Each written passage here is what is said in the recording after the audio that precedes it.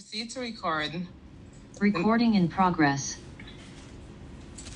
To record the meeting. So the agency having received an application for environmental authorization from EEPGL for the proposed project, um, it was screened and placed on a 28 days public notice on June 27, 2021, notifying the public, of course, of the EIA required decision. This, of course, is in keeping with the Environmental Protection Act, Chapter 2005, Laws of Guyana, where an environmental impact assessment is required for certain types of project be, before any decision can be made on whether or not an authorization should be granted. Uh, of course, um, most of you, those persons who were initially a part of previous um, scoping meetings would know that public participation is an integral part of the EIA process. Um, therefore, in the early stages of the of the process, the agency conducts um, scoping meetings for the proposed project. Hence, the reason you're here. Um, you're here to to learn about the project, um, to say how you think the project will impact you um, and your your livelihood and also make recommendations on what should be captured in the terms and scope to be developed to guide the environmental impact assessment study. All right, so just to bring your attention briefly to the agenda for this afternoon, I will share my screen.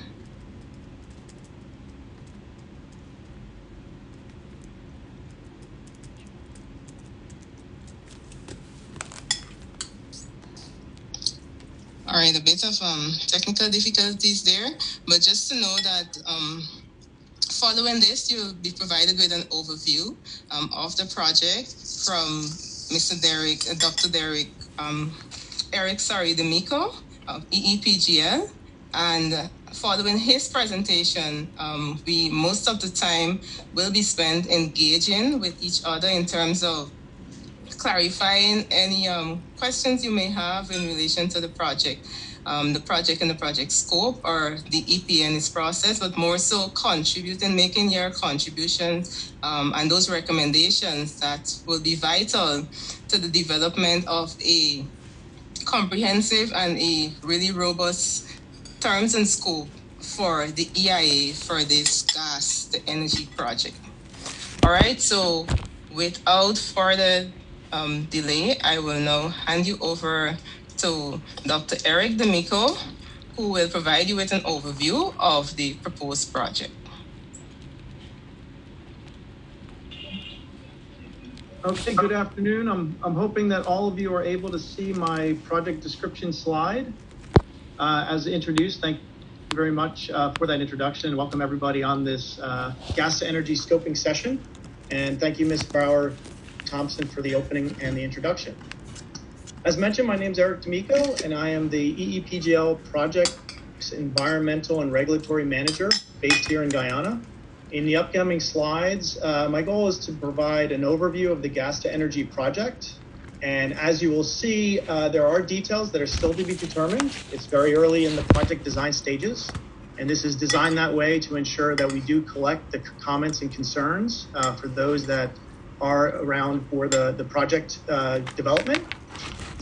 However, uh, I feel that there will be sufficient details for all of you, the stakeholders, to raise those concerns and provide those comments to the EPA. The, the EIA process will evaluate the potential environmental and socioeconomic impacts, uh, proposing some of the strategies to manage and or mitigate those impacts, and identify the benefits. Uh, 77. So with that, I'll go ahead and get started. As many of you have likely heard, the proposed project uh, would bring associated gas from ExxonMobil Guyana operated projects, specifically Liza Phase 1 and Phase 2, also known as Liza Destiny and Liza Unity, to onshore gas processing facilities through a pipeline that would transport up to 15 million standard cubic feet of natural gas to the facilities per day. In the upcoming slides, I'll talk more about the onshore and offshore components. I do want to highlight in this uh, image on the right-hand side, as you'll see that the pipeline comes in and enters an area west of the Demerara area, uh, at Demerara River, that is, and toward the processing facilities. The project construction and operation, uh, the construction will take approximately 30 months, so a little under uh, three years, and design project for 25 years. So now a little bit on the de- details. It's broken into a few different components. First, I call your attention to the offshore pipeline. The pipeline was approximately 220 kilometers long, and it will be through a 12 inch gas export pipeline connecting from the two FPSOs to the onshore portion of the pipeline and the facility. The pipeline will be transported offshore welded together and lowered onto the seafloor. Notionally, in the shallower waters, the pipelines will be buried underneath the seafloor to protect against damage. As the pipeline approaches the shore, dredging could be potentially utilized to provide access for vessels and the pipeline. Prior to starting up the entire the pipeline, the entire pipe will be pressure tested to ensure pipeline integrity. And that's what's referred to as the hydrostatic test that will be carried out. For the areas that are outside the 100 meter contour lines, and I apologize for those with smaller screens, it might be difficult to see, but the, the blue lines offshore, those are showing contour lines. And in the water depths greater than 100 meters, the pipeline will be laid on the seafloor. The red outline in that picture is identifying the block where the Liza 1 and Liza 2 vessels will be. And as you know, the Destiny is currently in the waters and Unity is coming later online. Moving from onshore, offshore to onshore, the onshore portion of the export pipeline will run from the shore landing location to the NGL plant. The pipeline route was selected by the government of Guyana from various considered options and will largely follow existing roads and canals. To install that part of the pipeline, a number of methods are being studied as part of the design and construction planning. It is anticipated that major canal and roadway crossings will be executed using trenchless or drilling uh, methods where ap- appropriate. And the pipeline will be buried approximately 1.2 meters along the route to prevent damage and intrusion. As you see on the fig- figure on the right hand side, the pipeline corridor is depicted on the slide, where the notional uh, pipeline corridor, where a temporary construction right of way is estimated to be about 23 meters in width. The permanent right of way is preliminarily estimated to be 12 meters. The additional temporary construction right of way provides the ability to move dirt and other excavation materials out of the immediate area and follow through with the construction in a safe and efficient method.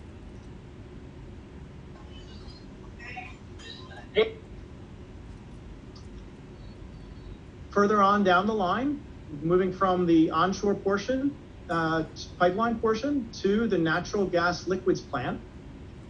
And I will call to this uh, point right now. It is an artistic representation only in the lower right-hand side. Uh, final layout is determined along the long longer down the road when we get down to the detailed design phase. But it's included here to give you a, a sense of what the plant may look like.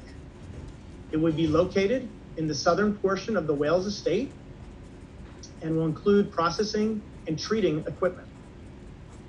In support of the NGL plant construction, there will be temporary infrastructure established, such as access roads, laydown areas, and a river offloading facility, which I will highlight in the next slide.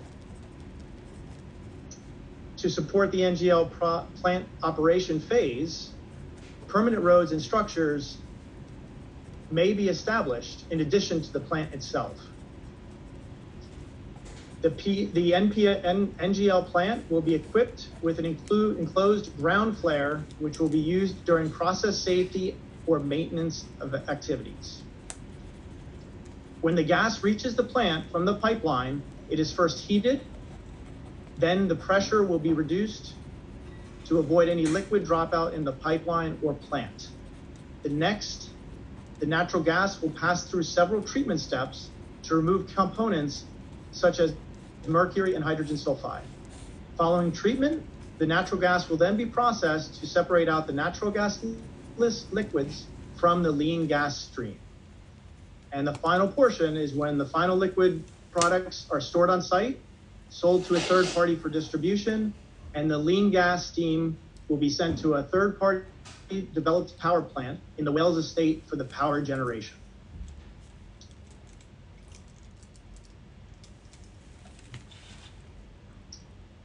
As referred to in the previous slide, it is necessary to have a temporary materials offloading facility. This facility uh, will be located on the west bank of the Demerara River for the duration of the construction phase of the project. The facility design will consist of moored, shallow draft barges used for offloading project modules and materials. It is anticipated that some dredging may be required to enable the vessel movement in this area to the west bank of the Demerara, and that will be studied further following geotechnical and geophysical surveys that will be undertaken.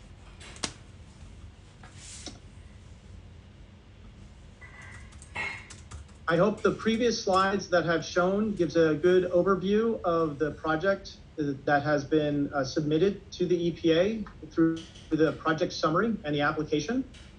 I wanted to highlight here that there are additional scoping meetings that are, occurring. Uh, we've uh, completed one in Region 5, two in, regions, in Region 6.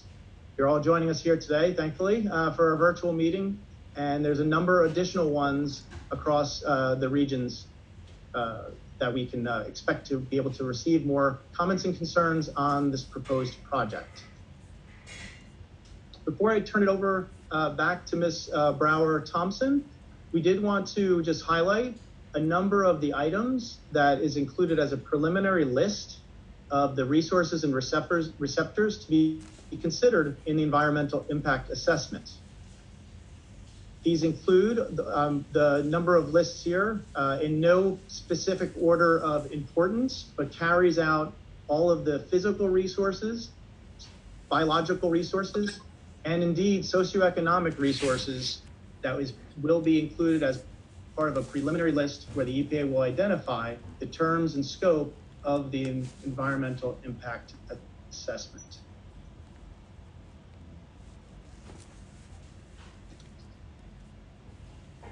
In support of some of the topics on the previous slide, it is important to uh, establish baseline studies.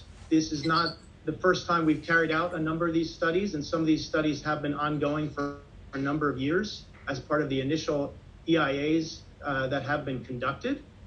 But these include those you see on the screen that are uh, help identify and document the current physical, biological, and socioeconomic conditions in and around the project area.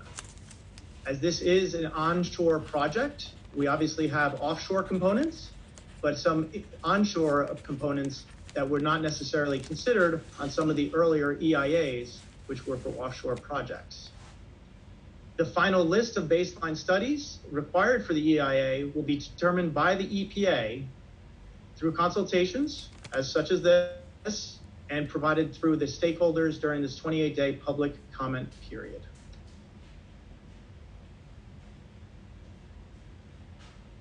And lastly, if uh, there the environmental impact assessments for EEPGL projects, plus the many, many other various projects uh, that have occurred throughout uh, Guyana are available off the EPA website, but I wanted to give a, an, an idea for everyone here of the content of the EIAs, which includes a project description, which goes into uh, greater detail than uh, what affords us time today to go through.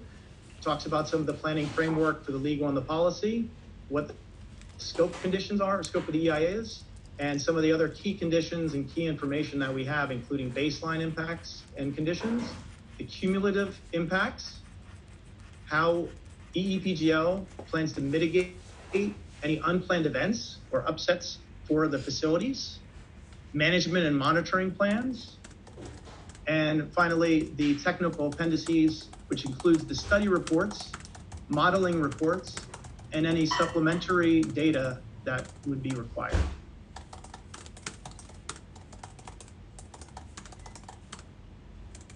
So uh, with that, I believe I can turn it back over to Ms. uh, Brower Thompson.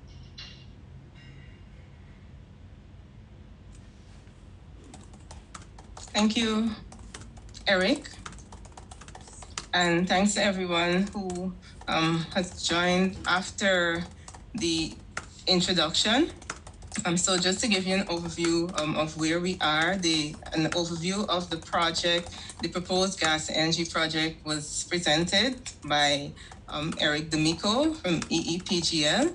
And we are at the stage in the agenda now where the floor will be open for your submissions. Um, so we want to do that in a very orderly fashion. Um, and we haven't restricted the the audio, the mics, um, in terms of persons being able to unmute themselves. However, there are persons managing the platform. So I would kindly ask that you, you use the reaction button um, at the bottom of your screen and you can raise your hand if you want to make a submission um, at this time um, or if you need any, any if you need any specific clarification. Um, but more so, just to reiterate that this is the public scoping meeting for the gas, the energy, the proposed gas to energy project. It's complementary to the public notice, which was published by the Environmental Protection Agency um, on the 27th of June. And that notification period provides for a written submission um, to the executive director on matters and questions um, and recommendations which would like to be addressed in the environmental impact assessment study for this project.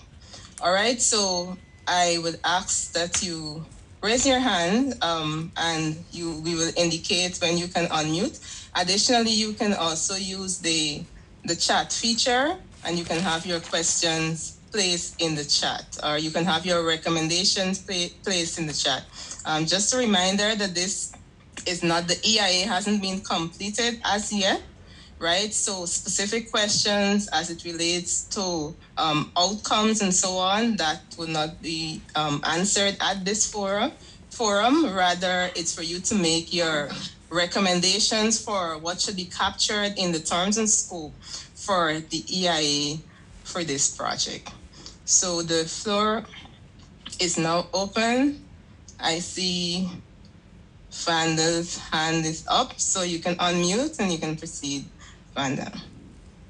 Um, just before you go, Vanda, um, because we're recording the submissions, could you indicate on the persons who who are asking questions indicate which organization you're representing, or you know, if you're just a member of the public, that's fine. Um, but just indicate your name if your name is not um, clearly written on your device, um, what organization you're representing, and then you can proceed to make your submission. Um, hello, can you hear me? Yes, we can hear you.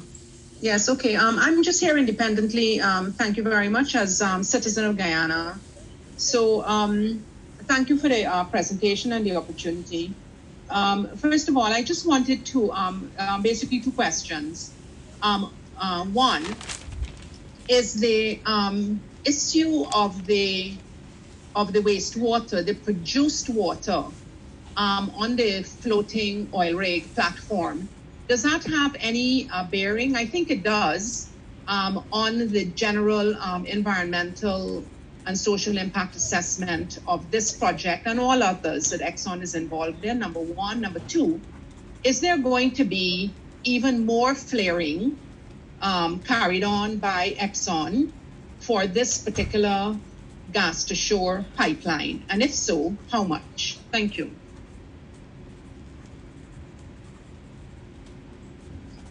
Um, all right, Vanessa, so if I hear you clearly, um, I indicated um, initially because we're in the preliminary stages of developing the terms and scope. So you would like to see um, captured in the terms and scope, scope sorry, whether um, there will be aspects of additional um, flaring that it would be a part of this new project. Um, if Yes, I if um, I get if you you want, I can repeat. I can repeat the question. I don't know why it's so complicated. Number one, they speak about um, water. And I'm asking whether, since Exxon is uh, produced is producing a lot of this uh, pretty bad wastewater on a daily basis, uh, there was a picture actually just the other day with this water gushing out into our uh, seas, our ocean, our EZ.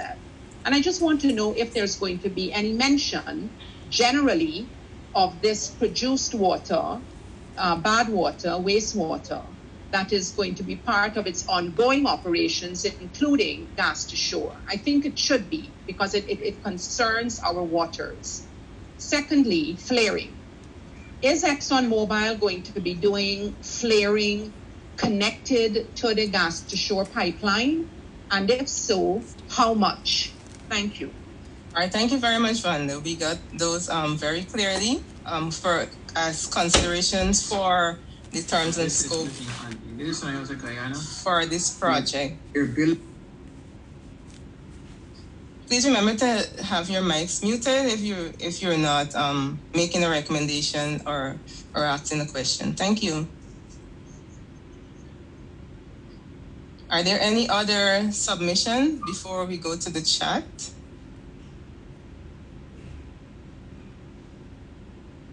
You have a, another question, Vanda, or is it that your hand is still up?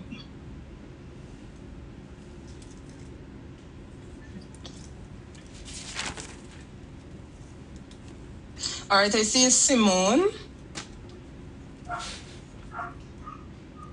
Simone, please go ahead to make your submission. Thank you. Simone Mangal, I think, is that That's correct? correct, Candice. Thank you. Uh, Mr. D'Amico, thank you very much for your presentation, which was very clear. I um, I'm representing. Uh, I'm just a citizen of Guyana, but I'm also an environmental professional, and I am quite concerned about the future generation, and that's why I'm here. I'm struggling to be able to meet the objectives of this exercise because the scope of this project uh, is not clear in the description that has been published. And you would appreciate, as a professional in this field, that unless the scope is clear, we cannot begin to imagine what areas of impacts have to be examined. And I would like very much to be able to constructively contribute to the terms of reference process, participatory process that you have. Now, when you presented the project, you said that the purpose was to transport gas. To my mind, that's the means. So, the, the, the real question I would like to understand is what is the purpose of transporting gas to the shore of Guyana via a pipeline? Is it to monetize the gas? Is it uh, because uh, Guyana requires an energy demand that is going to be met by this gas? Now, when you presented, I understood two things that wasn't clear in the written description. The first is that the gas would be at an NGL facility on shore, and it's going to be processed processed into propane, butane, pentane, and liquids for sale and then the dry gas is pumped to a power station which the government of Guyana is constructing and will be using. So, for me to really contribute to this process, I would like to understand who owns the gas, who is selling the propane, butane, and pentane. Is it a joint venture? That, that's important. The second thing that's important is what is the power demand that the government of Guyana has, or the people of Guyana have, to justify a pipeline coming to shore. Because if we if we have an X amount of demand and a, pro, a projected demand based on business as usual, and we have an excess demand coming, it's effectively a, an isolated um, place with, that's getting all this gas um, through a pipeline, which means we're either using it all up or we are intending to put in an industrial footprint to use it up. And we need to comprehend where that is going in order to fully understand what the cumulative impact or the real impact, according to the parameters you have outlined, which are environmental as well as socioeconomic. So I would like to submit that these matters are clarified now. They have to be clarified before you can engage a process where we are able to actually give you the kinds of feedback you need on terms of reference. All right, thank you very much, Simone. Eric? Uh, uh, thank you uh, for, for the comments and understand some of the questions that uh, have been posed there. Um, as, as part of this process for the EIA, it's very clear that we need to stay within the constraints of what the project specifically ties to, which is the initiating location of, of the pipeline, not considering the FPSOs. It's actually the beginning of the pipeline through the terminus at the natural gas liquid plant. For the information that you're requesting as it, as it relates to associated facilities that may develop as a process uh, and as a follow-up from this project. Uh, that's outside of the pro- project scope, uh, and that actually goes into some of the commercial uh, aspects of a project. And we are really looking for those uh, environmental, the biological, the physical receptors, and the socioeconomic. And I'm sure you'll then say, you know, how can we look at socioeconomic if I'm not sure of all the other uh, tie-in effects that this project may uh, follow up with? And I think that's where uh, the uh, the notes will be taken for the comments and concerns to ensure that the EIA captures that information as it goes through the process. And this is the the first opportunity to hear more about the project. It's in, it's very early in, in the stages. Uh, we have uh, stakeholder engagements and a consultation period uh, later uh, in, in, in the cycle to capture more information and hopefully provide you some of those additional details that uh, you were you were requesting. I know there these comments have been uh, captured, and we will try to look at providing those uh, at a later time. But as it relates to the commercial uh, aspects of it, I don't have that within my uh, uh information at this time.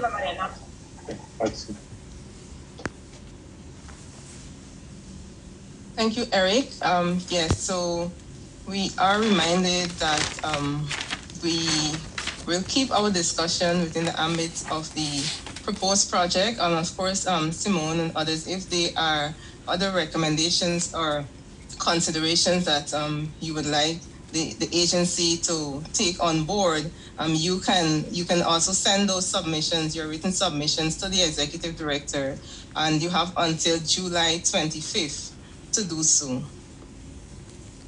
So I'll go to Jerry. Jerry Jailal, is that yes? I'm seeing your hand. Yeah, I was uh, wondering if you have copies of the previous gas to shore studies done by the previous government that the public can view and have a better understanding of the project. what we have seen so far is just a very, very brief summary.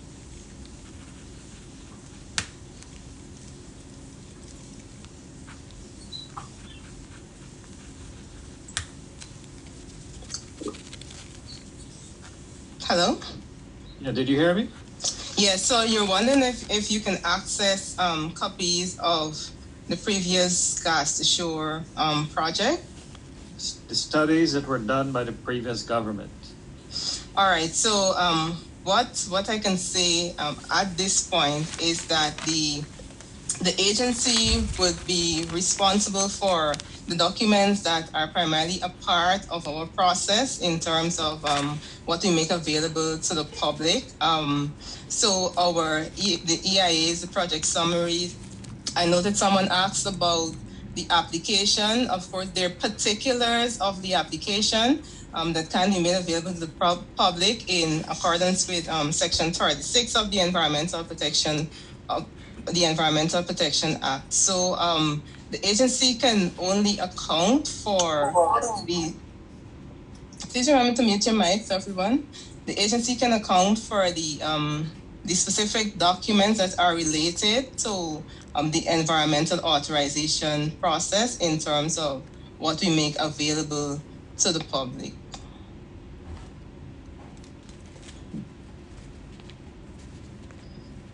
Mike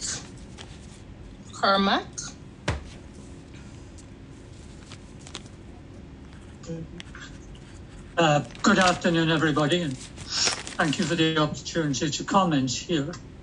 Um, I we have many questions at the Policy Forum Guyana, who I'm representing on this call, uh, but clearly they, they can't all be dealt with here. And I'd just like to refer to one area that um, is of particular interest to us.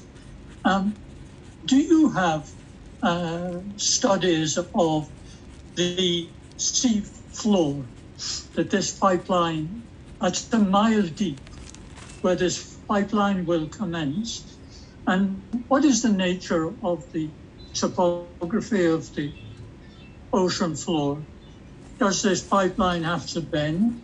And are you thoroughly familiar with the uh, hazards that are possible as was made clear last week in the Gulf when methane spills from leaks from a gas pipeline set the ocean alight. Could you tell us something about that? Thank you. Okay, um, Mike, thank you for your submission. So that um, is what the environmental impact assessment um, will capture, and that is why we're having um, this this session. So, uh, in terms of the details of that um, of your question, that that will be answered when the EIA is made available and we have the public disclosure meeting. But at this point, the your question will not be answered because the study has not been um, conducted as yet in that regard.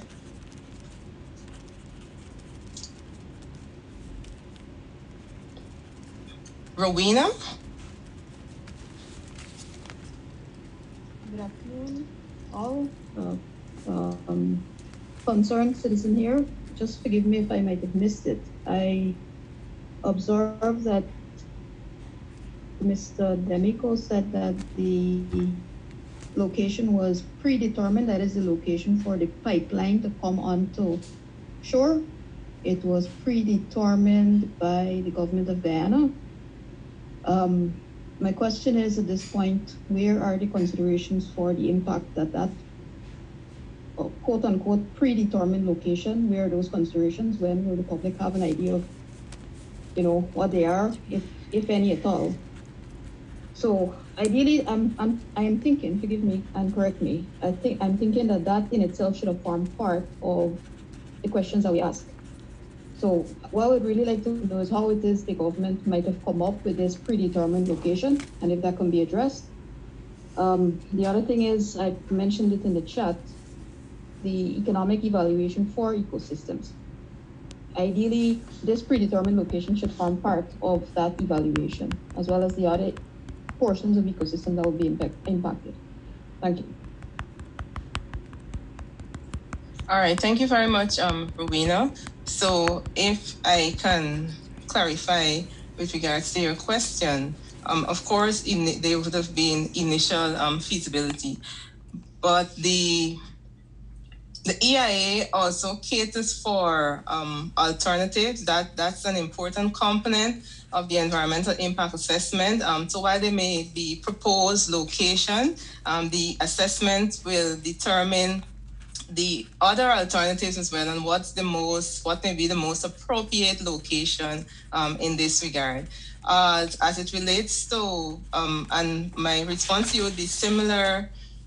So um, the response I gave to Mike uh, in terms of the dissemination of um, information that are not um, it's it's related, but not uh, not um, directly a part of our process.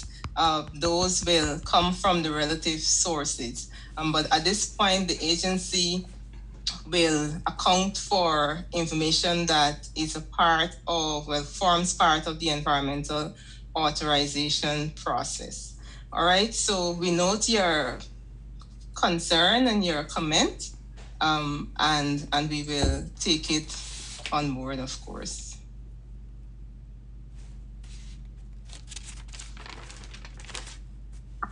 I'm seeing Maya and Rama. I'm not sure whose hand was up first, but we'll take Maya Trotz and Rama Prashad after Maya. Go ahead, um, Maya. Unmute yourself. Thank you. Um, good afternoon, everyone.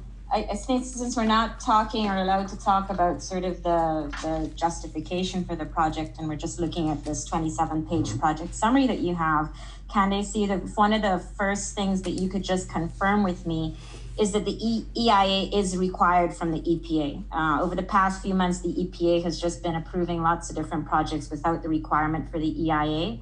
And I just need to know that we're in a process right now where the EIA is already required for this project. Can you just confirm yes, that? um, Maya, correct. The EIA um, is required, and with in the in determining sorry whether an EIA is required or not, there it the project usually goes through a rigorous screening process, and of course the agency published uh, that decision. So the decision for an EIA required for this project it was published. So yes, um, to answer your question. Okay, thanks. So in terms of um, of the process that you're doing now or the company is doing now, you're trying to find out what what different things need to be covered in the EIA based on the presentation that was given and the potential baseline study that would be done. Is that correct, Mr. Dr. Mr. D'Amico? All right. So if I can um, respond to you so the agency is required, the Environmental Protection Act requires us to publish a notice in at least one newspaper and give the public 28 days to make written submissions on what should be considered um, for the EIA study, um, questions and matters that they would like to be considered. Um, however, um, given that this usually limits the public participation. As a complementary to that process, um, the, the agency have a, a, policy where, especially for major projects like these and for EIA projects, that the developers are um, required to conduct public scoping meetings because um, there may be issues or concerns that um, would be brought to the attention of the agency um, through engagement with uh, with various stakeholders and members of the public who may have um, integral knowledge of the area and so on. So this is complementary to that um, process to get the public um, involved in, in a more meaningful way in the process rather than having you just send your written submissions to the agency. Okay, that's great because I just want to make sure that the questions that we might have today does not necessarily say that we are endorsing this project. We just have questions on on the 27 page document that has been shared without us actually knowing sort of the purpose um, and the economic arrangements of this project. So some of the questions that I would I I would have, or you know, someone has put in the chats already, some of the concerns with things like your mercury waste from processing. And I would be curious to know sort of how does EPA monitor, regulate, manage this stuff? Where is it going? You speak about oily waste that is potentially trucked trucked to where? Where in Guyana is going to process the waste? What kinds of volumes? You're speaking about a stormwater detention basin to promote percolation. I'm wondering where this is going to be located and what kind of soil you're thinking of. Because if you're on old sugar lands, there's nothing really percolating. Um, and so, are we coming up with some sort of deep well injection to get rid of your waste? And what are the um, you know costs and so on, and potential impacts on groundwater associated with things like that? So, I would say all of the studies that were shared in terms of the baseline studies, I would endorse doing all of them and, and actually doing studies where we have data that's shared. I've been reviewing some of the EIAs that are that are that are being published for the oil and gas sector, and they're very limited on actual measurements, actual data. Uh, I would encourage that the EPA requires this, and it's not some sort of hypothetical situation with no measurements being made. Air quality, we want to see baseline data. Uh, sound baseline data, stormwater management baseline data.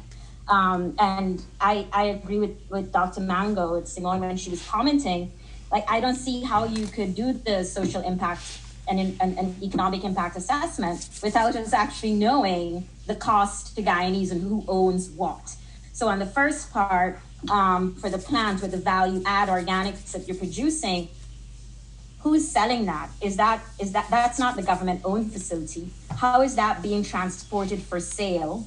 Uh, it talks about uh, to supply local demand. Is local demand enough? Um, and and sort of so just you know, and one part on the, the studies that you've included um, I just Google a document for the terms climate change, and so didn't see it anywhere. You are in a coastal area, so questions in terms of climate vulnerability and the placement of such a facility um, in an area that has potential for for flooding. Uh, and so curious to know if you can include baseline studies looking at climate change vulnerability. So what are the what does LIDAR data talk about in terms of the, the vulnerability of that area, looking at climate models for this for this region? Things like you putting such a big plant, but your document speaks about on-site septic. I mean, could we think of some other type of more advanced wastewater treatment for your facility? You know, um, especially if you're thinking of this more, what you would might call advanced type um, uh, industrial development. So I would just be curious. Uh, I'll, I'll, try to attend some more of the meetings. I think it's really bare bones what we shared was shared here today.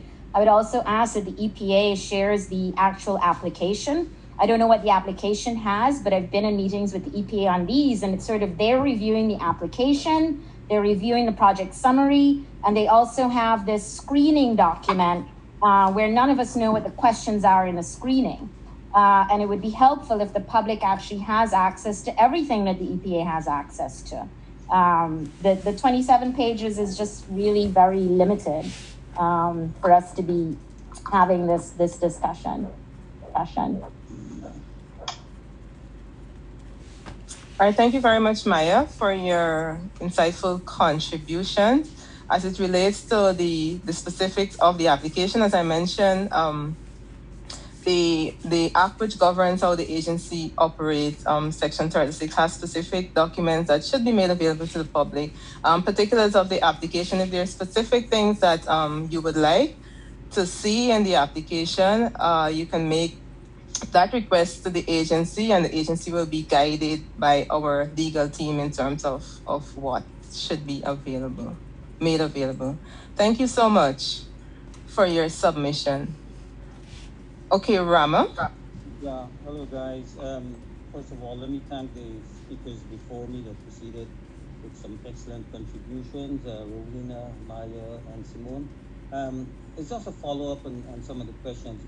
My concern is, um, the, other than the EIA uh, assessment, is the economic impact uh, on this location. Is this the appropriate location for the efficacy of this project and the consumption of this gas to shore. Um, my concern is I'm wondering if it's a political decision based on the fact that this location is uh, what we call a distress location based on what has happened um, in the past with the closure of this estate and so forth. Um, that's my only concern because I'm from this area and um, you know I am monitoring what is happening there, but I don't know for sure whether the location of this gas to shore project is the appropriate location that can bring about the efficacy and the economic benefits in the long run, um, putting it at wheels. Um, that's my concern. Thank you. All right, thank you very much, um, Rama.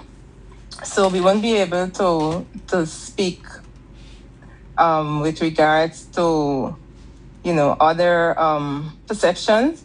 But, but what the agency will be making a decision on is based on the sound scientific evidence that will be provided by the environmental impact assessment. And as I mentioned earlier, um, one of the important components of an EIA is alternatives. And alternatives doesn't always have to be alternatives that relates to location, but it can also be um, it can also be design and um, it can also be the use of certain technology and based on the, the findings of the of the EIA um, that it, the decision will be made on whether or not as you mentioned that is the most appropriate location or you know it needs to go somewhere else. So um, that's the purpose of the EIA so that it can really um, be in, it can inform inform the decision making process. All right so i see uh, Dow, Joycelyn Dow, and I see David. David, so I take jo- David. I take Joycelyn first, and um, followed by David. My name is Jocelyn. Joycelyn, please. Um, Jocelyn, sorry. I'm speaking here as a citizen. Um, Sorry, I'm, I'm, I'm being corrected on your name. Um, but you said it's pronounced as Jocelyn, not Joycelyn. yes, Jocelyn. No, if you look at the spelling. Okay. Okay. Okay. Uh, Thank you very much. Go ahead. Yeah. Um, the EPA will consider this project within what are your guidelines? Is this correct? What are your laws, your statutory things, your guidelines? Correct. Now, since those guidelines have been rolled back to 2002, what happens to those guidelines that emanated from a project that was done by WWF that did specifically look at enhancing the guidelines of the EPA to deal with oil and gas? How is it going to be considered in any rigorous way if your guidelines are limited to prior anything to do with um, oil and gas? That's one question, right? And uh, and um, in terms of how it is you are going to be guided by all the comments and questions and suggestions made here today, are you going to present these to us, the public, in a new rollout of what it is, not just the recording, what is it that can in fact inform some of the new sessions you are planning to have in different communities? So is this going to be an accumulative uh, process that can help to guide future consultations as well? Thank you. All right. Thank you very much, uh, Ms. Dow. Is that correct? That's correct. All right. So, with regards to um, to guidelines, guidelines are guidelines, um, as the name suggests. What the EPA does, and of course, we're continuously um, updating and upgrading our our um, research and, and the um, technology and so on, the terms and scope that is developed for the study, which um, your contributions here today um, would help to craft um, that terms and scope. That is what will guide um, the study in addition to um, the act, which have the act has specific areas that the that an environmental impact assessment should cover right? So, in addition to the areas that are stipulated in the act, the um, the, the terms and scope that scope that will be crafted for um, for that for the study will inform the environmental impact assessment. So our decisions are not based on um, outdated guidelines, so to speak. The guidelines were created to to guide the developer in terms of the specific areas that they need to adhere to. But the terms and scope is what will actually um, determine the extent um, of the environmental impact assessment. And um, just to answer your, your second question, uh, we are always seeking, of course, to improve our process um, as it relates to the engagement with the public. So, yes, you mentioned whether there will be adjustments. So we we adjust um, presentation, we adjust approaches, and so on for um, follow up scoping um, sessions. So based on the the the submissions that are made here um, we will make adjustments as, as we proceed so that we can enhance that process you know as we go along. So yes to answer that aspect and i think you you asked a question with regards to how your submissions will be considered. So um, the submissions today along with all the other scoping meetings that we have in the various regions, as well as the written submissions that will be made um, to the agency, to the executive director. All those will be collated, um, compiled, analyzed, and those will be used to, um, will contribute, as a matter of fact, to the crafting of the terms and scope for the environmental impact assessment. Thank you. All right. You're welcome, ma'am. So, David, it's your turn. Okay, thank you very much. Um, also, uh, thanks to the presenters and uh, all the people who have talked so far. Uh, learned quite a lot. Um, I have two comments and questions in, in areas. One specific. I'm sorry, David. Um, sorry. Um, I'm have to interrupt you, but if you could you state where you're representative, you're representing an organization or. or no, no, I'm just a interest okay. Chinese, yes. Okay, go ahead. Yes. And uh, so the two areas one is specifically for the EIA, and it, it is in regard to the process that you use to evaluate this. I mean, uh, to be to be fair, I think this is a very large and complex uh, process, just as the the actual uh, oil exploration and uh, um, production is. And so, uh, of course, making sure that uh, the evaluation process and the parameters used in the evaluation are are up to par because in in in, in essence uh, if they're not you know you're going to be either accepting or denying based on something that may or may not be quite on target. So I think that it's it it should be important that you guys give us some more uh, clarity uh, on those parameters. For instance, uh, if you uh, decide to land the pipeline at position A or position B, what are the parameters that the EIA uses to evaluate whether or not site A or site B is appropriate? And how does that compare to the parameters that ExxonMobil would be using? Because I'm sure they have their own parameters that would say it's better to land it at site A, and if you come up with site B, what are the differences and how do we address that? The other area that I think is important is for some more transparency and clarity on the process that you uh, the EIA uses in terms of feedback. So we get all these questions and comments, but what are the actual results of those questions and comments? Which ones are acted on and which ones are not acted on, and what are the results of those? So that I think is something that the EIA should really focus on in terms of clarity and in terms of being uh, transparent to the uh, Guyanese public uh, with respect to giving them some good information. The second set of questions I have is really uh, targeted toward uh, Mr. D'Amico. And first of all, it relates to the scope. Uh, and what I'm interested in is I've seen a lot of comments or a lot of actual documentation that says the scope or the design basis is based on 50 million standard cubic feet of gas.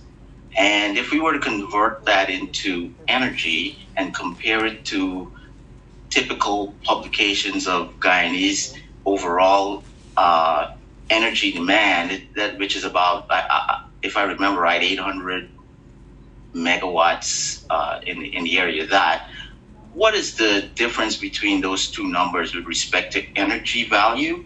And uh, can you say if the the delivered gas is gonna just be targeted at local needs, or is it going to be split between local and other industrial needs? Uh, that's the that's one one question.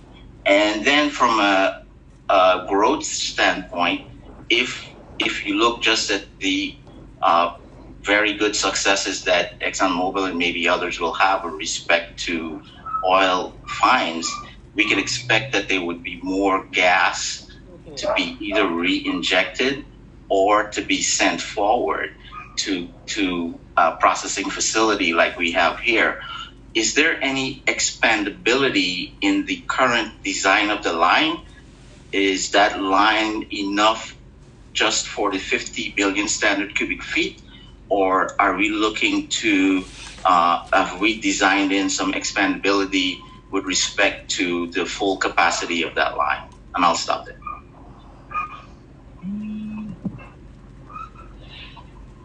Thank you very much, David. For the other persons who are not speaking, please remember to have your mic muted.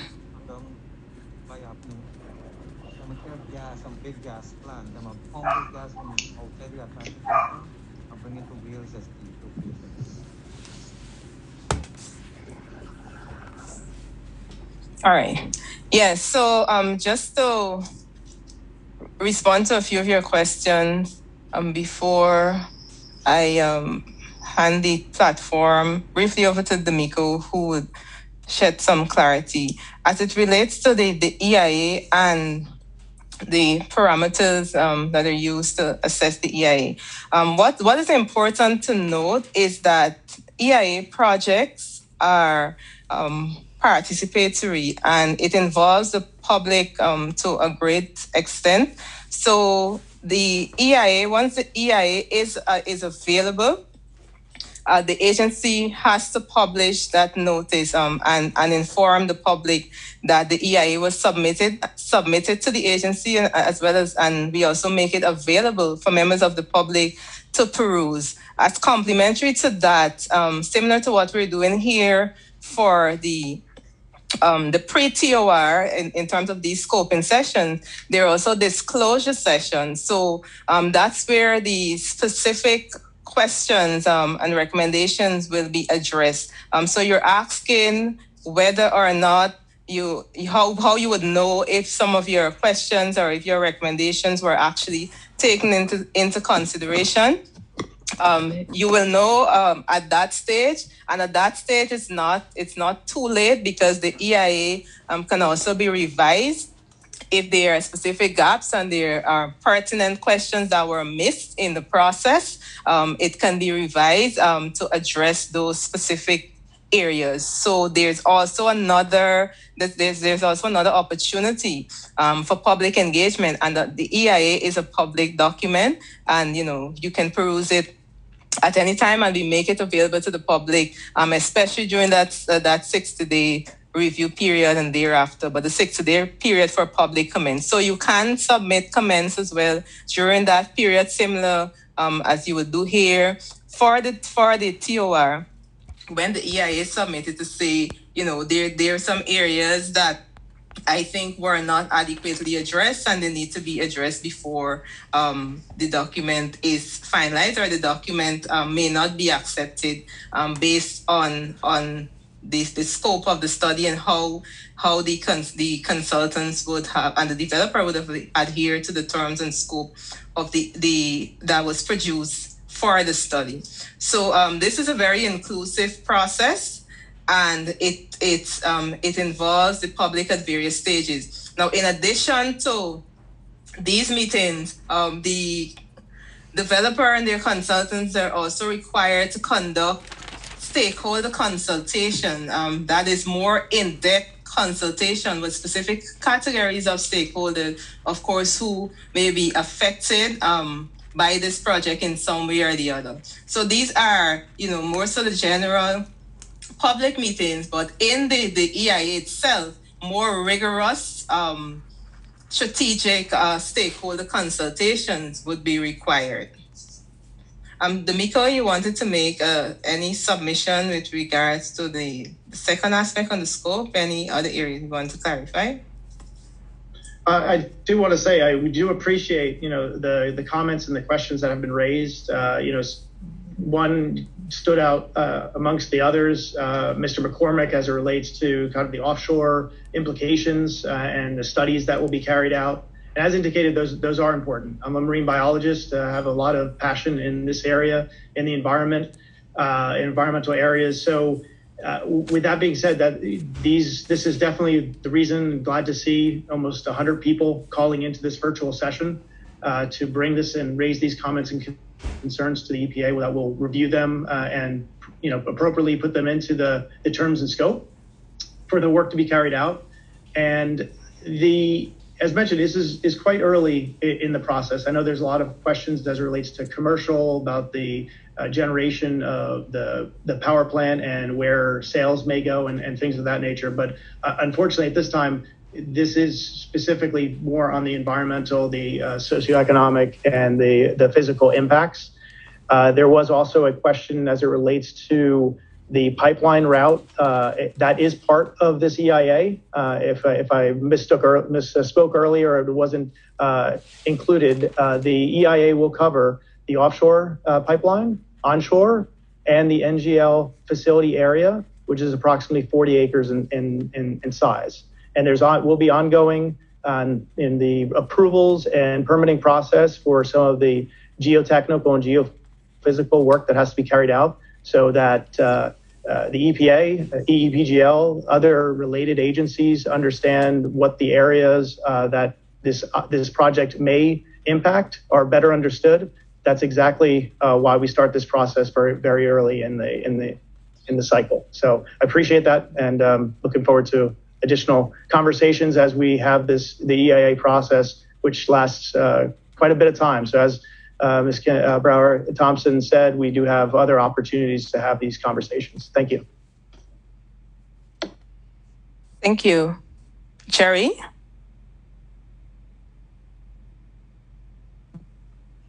Yeah. Uh, last week we saw a burning gas fire um, somewhere in the Gulf of Mexico. So that should send shivers up our spines in Guyana. Uh, it took five hours for them to put that fire out. You know, in Guyana, we have fire engines go to fire without any water. and so I don't know if the EPA is concerned um, about things like that and if Exxon has proper insurance. On the matter of oil, Exxon has so far refused to say and to make comment whether it is carrying full insurance for the current oil operation, because many of the experts that have made um, commentary on the issue feels that Exxon does not carry um, full insurance, and it may be using a shell company through which um, it is doing any insurance if it has any. And so I'm thinking we should not approve any new project unless Exxon releases full, complete documentation of what insurance it is carrying now and what proposed insurance it will carry for the new um, gas project. If we cannot manage oil, which we have now, how is Guyana, that is so ill prepared and has very little capacity and monitoring ability, be able to take on a new big project that has 220 miles of um, pipelines? It's a big job, and we need full disclosure, we need full transparency. And for all those people who are asking if that's the right location for the project in Wales, we need to see the studies that were done by the previous government. So we need complete transparency and complete uh, disclosure of this project. Right, Jerry, thank you for your submission. Um, as I mentioned earlier, the, the EPA can account for the areas that are relative to its process and, it's, and, and as it relates to um, environmental authorization and financial assurance and so on. Um, the EPA has the polluter pays principle, and our um, our permit will capture um, where that that aspect of it where where you know the polluter is required to to, to pay for any any harm or so that is caused. So that that is an area that is you know it's not new um, to us and and we have been addressing it. So are you saying that epa is saying they have full complete insurance right now for the oil operation? No, I'm not saying that. I'm saying um, that the EPA can only account for our permit and what and the financial coverage that has to be done in in that regard. And um, if you need this specific information, the permits um, the permits are available um, on our website. So I don't want to um to go into the details of that because we want to keep you know the discussion in the context of this meeting that we're having of this project. So you can see um, what we have in those permits for the previous developmental projects. But would be nice if Exxon answered questions because it's a matter that's being uh, written about in the press over and over, and Exxon is silent. So why would should we give them another big project and they keep being silent on us? What do they have to hide? Do they have anything to hide? talk to the people of Guyana. Like you're, you're having these meetings across the country. Talk to the people whether you have insurance now. We want to trust you as a good partner in development. Guyana is not the enemy of Exxon. And to treat us like friends of the same family and give us full disclosure and talk to us if you have full coverage and give us all the, the, the details.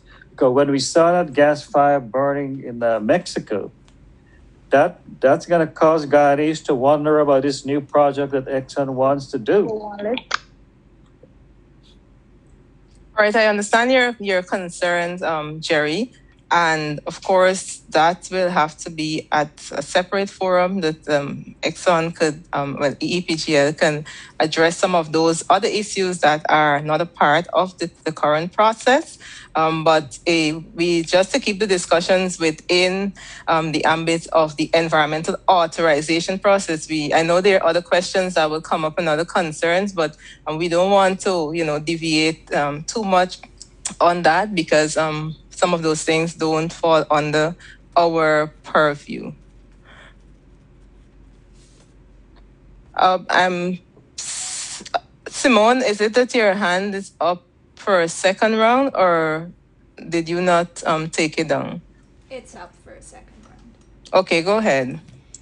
So, having listened to this and the response from uh, Mr. D'Amico, I just want to state for the record that I believe that this EIA cannot be conducted without elementary information, which you are categorizing as commercial.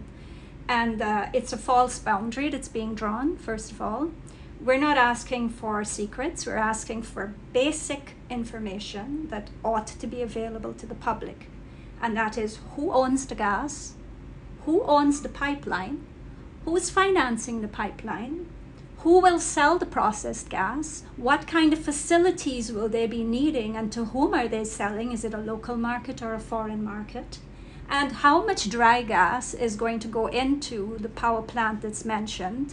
What is the demand in the country for that dry gas? And if it doesn't exist, what then will happen to the excess gas? Will it then spur other industries and can they potentially be dirty industries? So these are fundamental questions that, to my mind, cannot be dismissed as commercial issues. Secondly, it is preposterous to suggest that the purpose of an EIA is about where you put a pipeline. That cannot be the case. The purpose of this project cannot be stated as putting a pipeline. The question must be why are we putting a pipeline?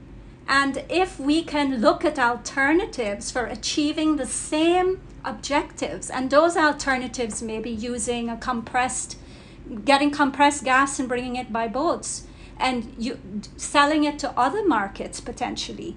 Trinidad has a very well developed gas field system and Atlantic LNG gas. It may mean we don't end up with a dry gas glut on in Guyana.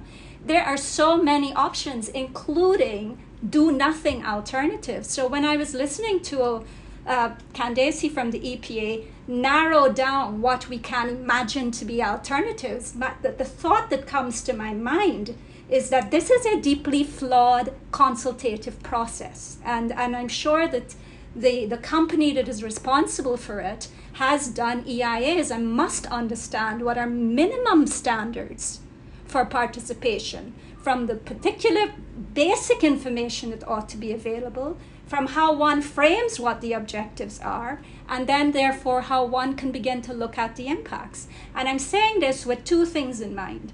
The first is I'm very mindful that the EPA announced to the public of Guyana that it was no longer going to be using the 2020 guidelines that were developed, which brought its systems and processes up to date. It announced this on June 26th, one day before this oil to shore, gas to shore project became pu- open for the public. Now, I don't think coincidence happen in the world. What I feel is that you have done that in a way that now allows us to have the largest onshore facility be completely done outside of the refinement that those guidelines provide to the existing 2000 laws. And this is not acceptable. It says that the EPA is going to consult on these guidelines, and the correct thing to do is to consult on them, have them in place, and then trigger this EIA process. I'm particularly sorry for the company that has to manage it because you are inserted in a process that is so flawed that it will end in a judicial review. And right now, this particular segment of it, which is looking for comments on TORs, is already deficient by any standard, any law, and any decision taken in the common eh, under common law in Belize or Trinidad, etc. So I would urge you to do the following: revise before you conduct another session like this. Revise your project description with the basic information that it is lacking and provide the details of all of the facilities that are going to be necessary if you're selling the, the gas or you're you're sending dry gas. We need to know what that's going to look like. And also within your description it says that you're not considering the public the, the, the power plant because that's a government of guyana project but it is deeply rooted in this pipeline business because we don't need a power plant if we don't have a pipeline. Um, so we need to treat that together with this. It cannot be jettisoned so that you shade the true impact of this undertaking. And you must understand, Guyana is an incredibly poor country with terrible leadership since independence. And at this point, every citizen is at the point where we have to stand up to govern our own country every single day. It's exhausting. But this particular one, this particular project is the straw on the camel's back because we're watching you and we're not happy. We don't disrespect you. We want to support you. We want the company to do the best job possible. But it's important to listen. And we're not the kind of people that you're going to say, oh, that's commercial and it's not in the scope. So the first feedback is your scope is wrong. You need to define the scope better. Thank you. All right, thank you very much, Simone.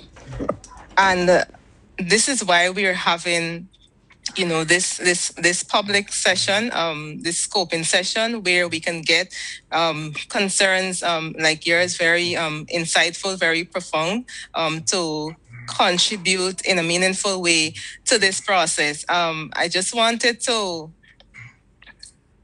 well, not correct you, but just to clarify, when I mentioned alternatives, I didn't um, go into an exhaustive list. I was I was just um, mentioning some of the areas because most persons would think that alternatives means an alternative location. So, and what I want to thank you for is that you made um, some very profound recommendations on the way forward.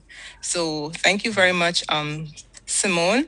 I don't know if David and Vonda, if your hands are up again or you didn't Uh, yes, I, take I, it down. second uh, set of questions. So it's Dave. Sorry.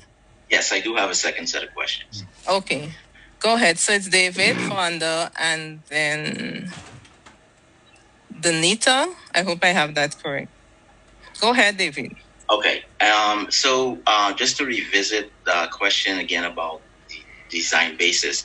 And partially, uh, the reason for that question does relate to uh, environmental impact in the sense that it it kind of defines the level of emissions you would have. So depending on how much gas is being fed in the line, uh, whether it's from the source or where it comes out, there's some set of emissions that would be associated with those points.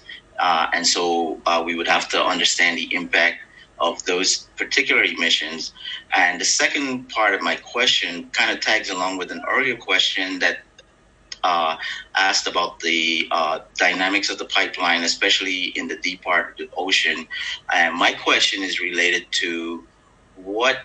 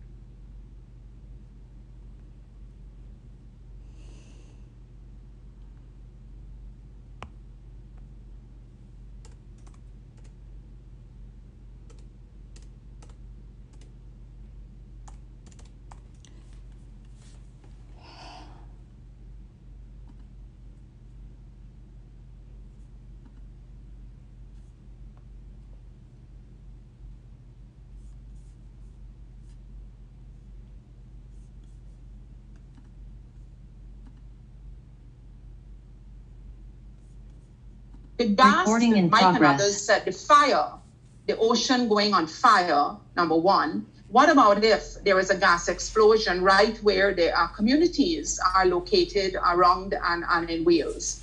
What is the evacuation plan? What is the insurance? This is a very vital question.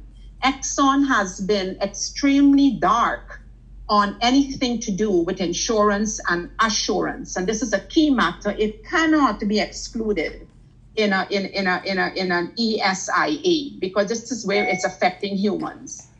And finally, the 2020 guidelines, come on. You have to include guidelines that are the most up to date. You can't just politically decide to exclude something done by a former government, let me be blunt all of these, the most recent um, iterations of the guidelines that would include some kind of looking at oil and gas, they absolutely need to be uh, taken on board. And, and you know, just don't duck, just don't duck these kind of, um, of questions. Um, and that the entire thing must be um, inclusive. And that, as someone said, I think it was Simone just now, we are not the kind of people on this call here, the hundred of us or whatever, that are going to take these matters lightly and be shut down by these kind of half-baked answers. I know they're sincere, Miss EPA, but come on, you know, we are going to be watching and we are not going to let this rest until we have something that citizens of this country can really buy into. At the moment, no, we're not. Thank you. Um, good afternoon, Miss Radzik. Am I pronouncing your name correct? Hello? Yes, Wanda, go ahead, Savitri. Yes, um, yes, Ms. Radzik. Concerning your questions regarding the produce water from the FPSO, um, I would just like to highlight that the FPSOs are permitted under a separate EIA project, which impacts related to produce water have been addressed in those documents. Um, this project concerns the transportation of the gas from the FPSO to the facilities onshore. So the EIA will have a section that will address cumulative impacts, which will take into consideration the impacts from all waste streams, from projects, exploration and production projects in the Stabroek block, as well as other blocks offshore. Also, regard with regards to flaring, the EIA for this project, the terms of reference will also re- mandate or stipulate that discussions regarding the amounts, circumstances under which flaring will occur, and alternatives to reduce any flaring that may occur will have to be addressed in that document. Management plans, evacuation plans, emergency response plans, all of those will have to be prepared and form part of the EIA study. The terms and scope for which we are here today will capture all of these comments. So, for example, you've uh, person made mention to management plans, emergency plans. All of that will be contained in the EIA. Some answers we may not have at the moment because I would just like to reiterate that the EIA has not been conducted as yet. So, just putting that out there for your consideration. Monitoring protocols will be part of the EIA as well. Once that document is submitted to us, we will review to ensure whatever was raised here today is included in that document. Do I provide some level of clarity with regards to the issues? Thank you, Savitri. Savitri is a senior environmental officer within the oil and gas unit at the EPA. Um, so, um, like she rightly mentioned, many of the the questions and considerations um, that you're making today, um, those are for the EIA, which is to be done, right? So, um, just to, just to, to clarify that that that issue. And produce water, of course, that is an integral part um, of the EIA. Um, and we've had it being raised in, in, in other projects. And of course, it is um, another critical area for this proposed project. Danita and Mike. So I'll take the Danita first. And is it Danita or Danita? I hope I pronounced the name correctly. And um, Candace, thank you. It's Danuta. Danuta, sorry. Okay. So, Go ahead, uh, Danuta. Thank you. Uh, good afternoon, everyone. Me, I'm, I'm a citizen of Guyana, and um, I have some comments and some questions.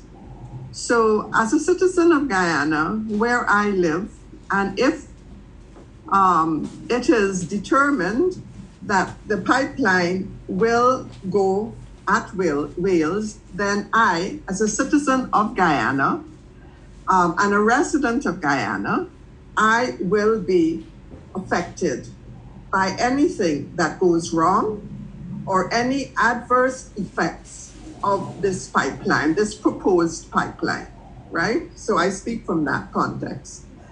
Um, but I also want to mention something because we are having this consultation and the EIA, um, the EPA is facilitating this um, conversation that we are having.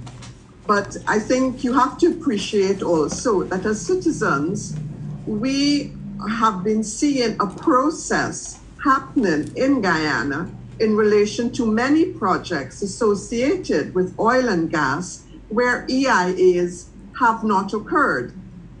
So, just a slight um, diversion here. So, for example, shore base, Guyana shore base, that stretches from Houston um, Estate, Houston Village, and goes all the way up on the side of the Demerara River to um, Eccles, maybe even further, right?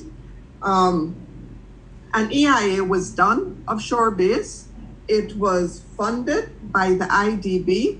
I have read that 294 page EIA, and it was quite shocking to me that the section on stakeholder um, involvement um, mentioned that altogether there were 11 people who were actually had any um, they, they had any opportunity to be to be part of any stakeholder consultation on this. And of that small 11 group, um, it consisted of government officials, business people, and I assume some residents.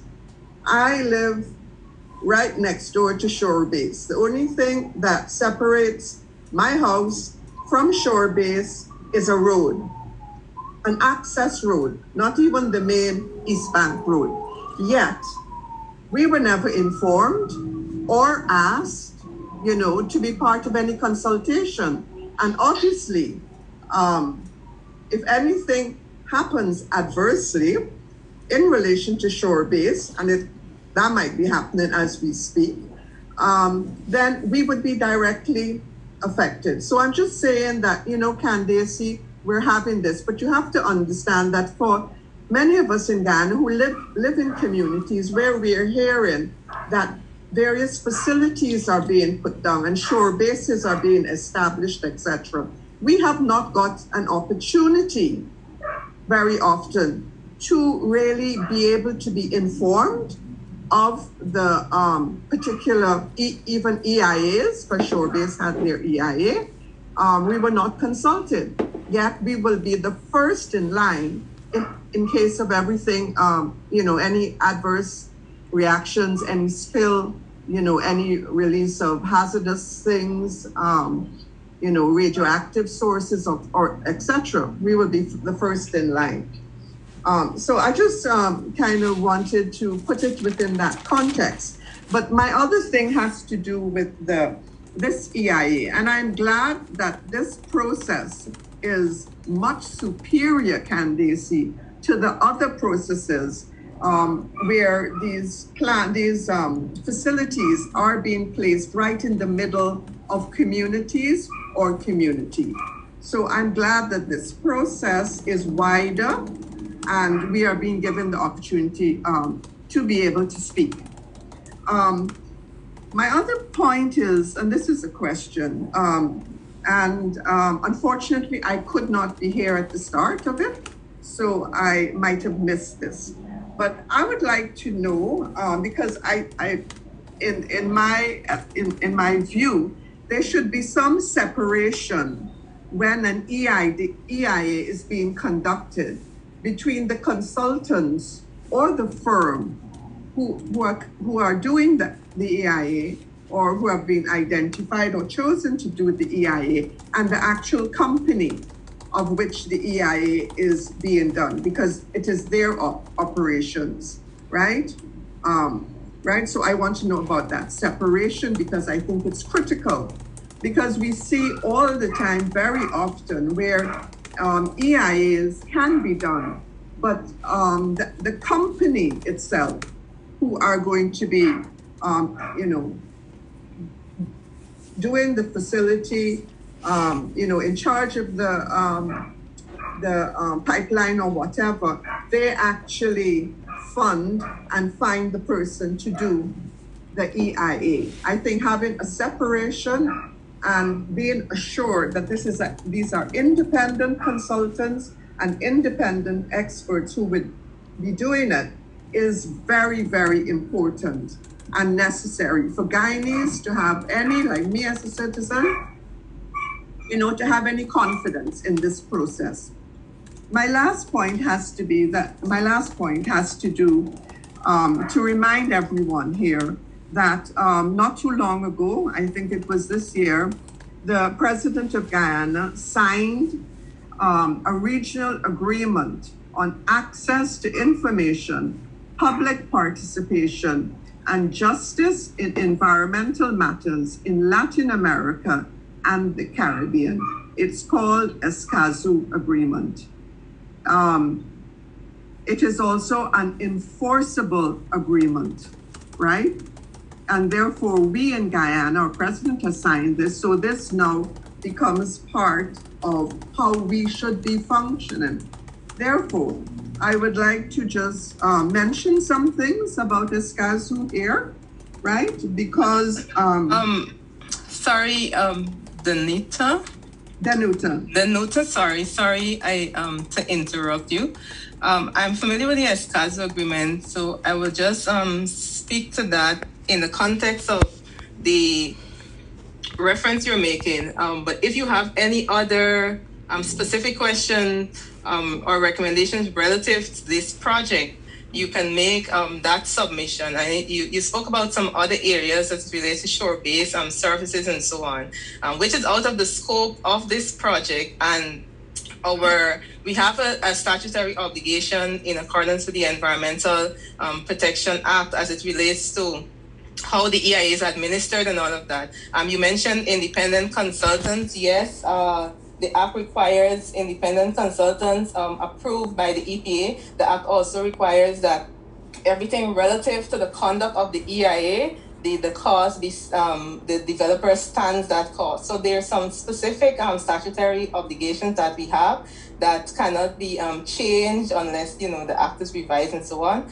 Um, so just just to underscore that we are working in the ambit of, of, of the Environmental Protection Act. And as relates to other projects um, outside the scope of this, there are also statutory obligations there where notices are published, whether it's um, 30 days um, for a non EIA project, and the, the public has that time to make appeals on the agency's decision and that is um, that process is governed by a separate body, the Environmental Assessment Board, that listens to those appeals and so on and make a final decision. So, uh, if there are like other areas, like if you have other concerns with other project, you can take probably take that separately in terms of um, sending your concerns to the executive director and um, we can address that outside of this forum. But we want to to keep um, the meeting. We just have um, about a few minutes, about 20, 25 yes, minutes but, remaining. But Candace,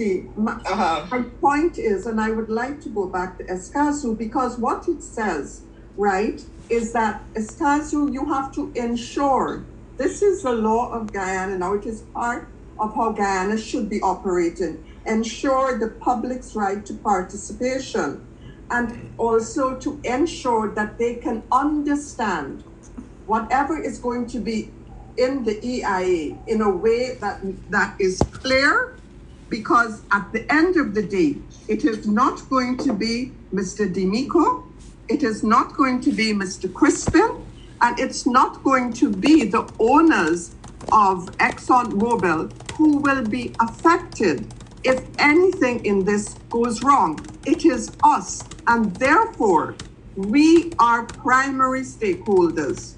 We are primary stakeholders, and I would hope, and as you said, everything, all the questions that are being raised should be documented. It doesn't matter if you are an expert, or you are a housewife, or you are a student. We are all valuable. We are all Guyanese, and we all have a right to be heard and to give our views on something that will affect us. Thank you. Correct. Thank you very much. And that's why we're we're providing this opportunity for you to do just that.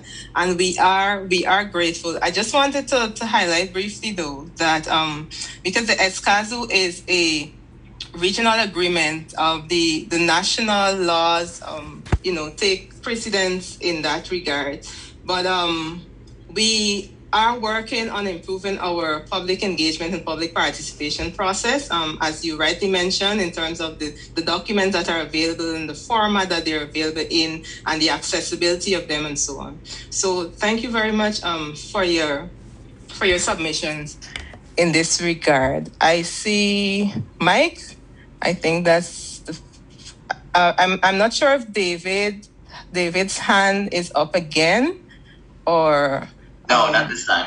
Um, Okay, uh, Just okay. excuse me. Good afternoon, everybody. Miss Candace.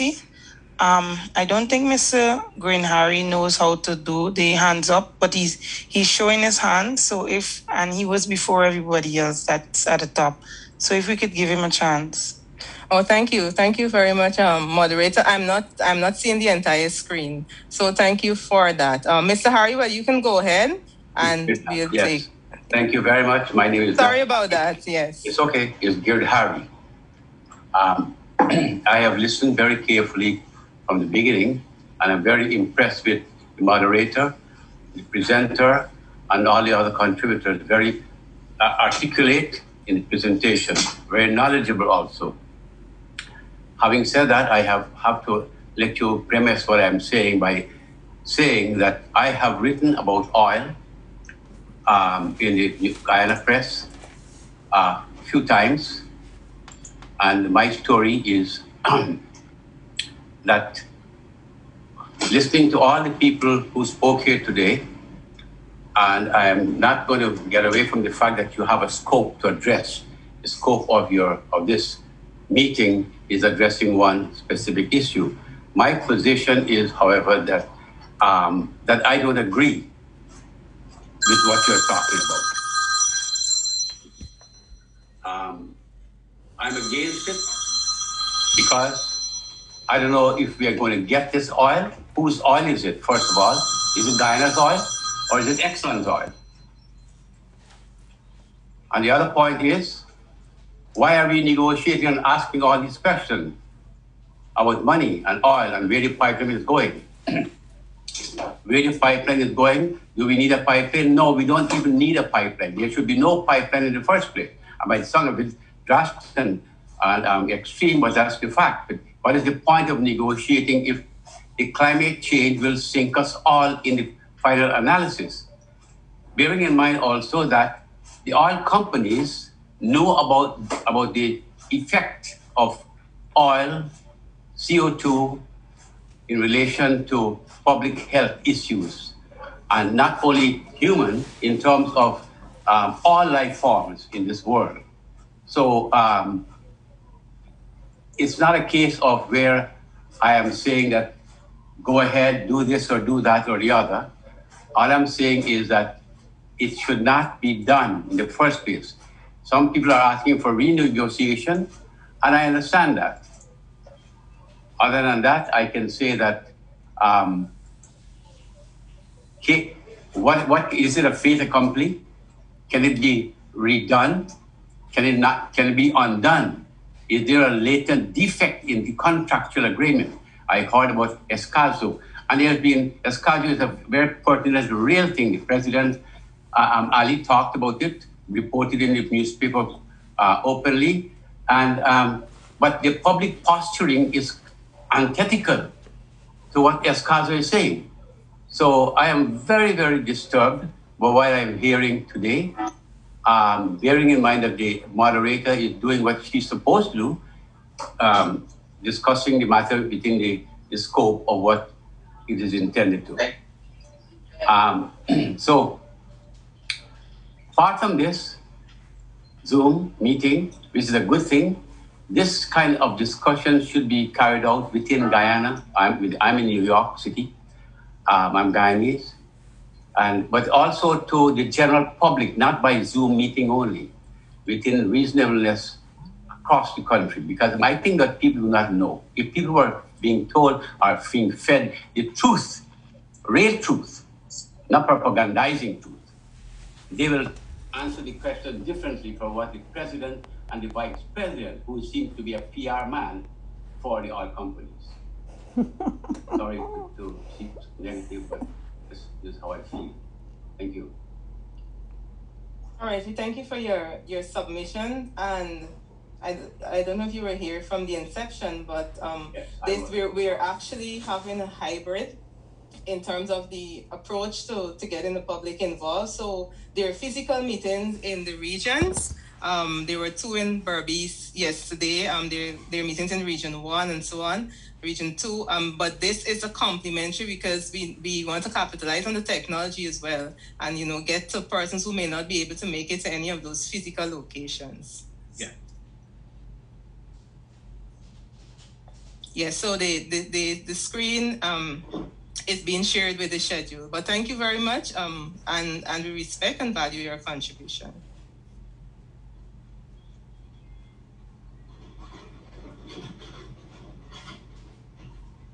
May I say something?